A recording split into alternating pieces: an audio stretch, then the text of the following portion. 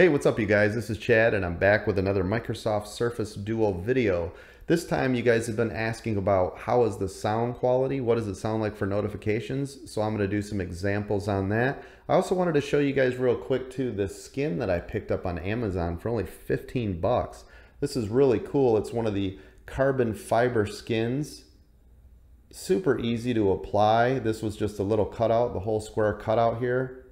Um, it only took me about three minutes to clean the unit and install it on the back, but as you know, this is an all glass back, so it will help with that. And no, this is not a sponsored video. I'm just letting you know that for $15, that's a really great value. So I'll leave a link down in the description, but let's go ahead and get into how this sounds and exactly what you can expect from the single, uh, the single speaker that's up here on the top. So let's go ahead and get into it. All right, so what I'm gonna do here, you can see that I've got the Surface Duo opened up. I'm gonna use my microphone, which I'll put in this, the shot here so you can see it. So this is the Rode Mic Pro. I'm gonna go ahead and point it towards the single firing speaker up here on the top, just so you can get an idea of what it sounds like. I'm gonna go ahead and use Mr. Mobile's video here, just so you can see what sound is like on this device. If you guys want to check out his videos, um, I highly recommend it. But let's go ahead and job for, let's go ahead and listen. What happens when it's not just a capacity problem? The September 11th terrorist attacks, Gulf Coast hurricanes, wildfires in the western U.S., tornadoes. Sometimes the cellular network is disabled, destroyed, or just plain absent. That's where the Rapid Deployment Kit comes in.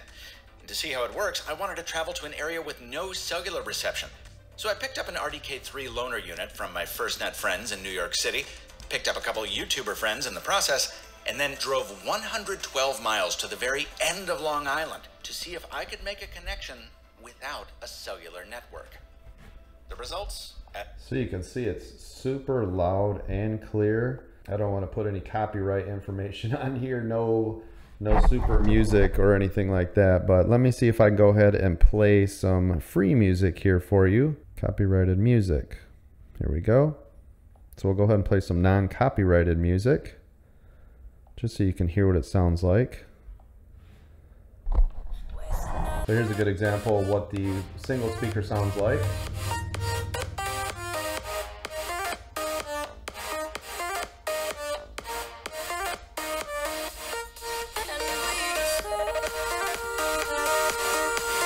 As you can see, it's super loud. now let's, uh, I'm going to send myself an email so you can listen to the notifications. Let me make sure I have my notification sound on. I'll go ahead and send myself an email here just so you can hear how loud that is. So there you go. You just heard that little ding. That's my email that just came in.